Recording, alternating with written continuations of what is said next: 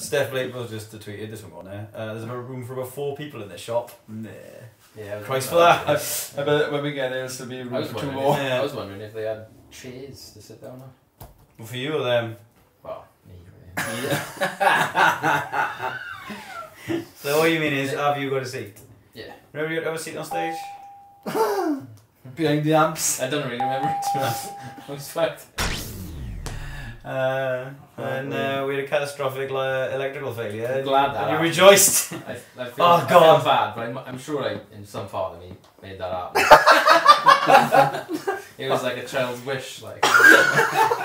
Oh, child's wishes always How come back. powerful, isn't it? I am feeling Yeah, dreadful. I wish this show would somehow have to Yeah. end So you without reached, me falling off stage and so you reached out into the ether and you, you wished for a catastrophic electrical Yeah. failure I, I based on a pre-existing. It was on your side as well, so it was kind of.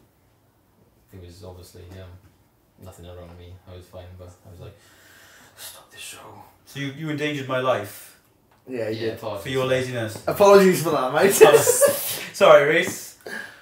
Don't do it again. Yeah, don't yeah, don't ever Never wish. wish that powerful again.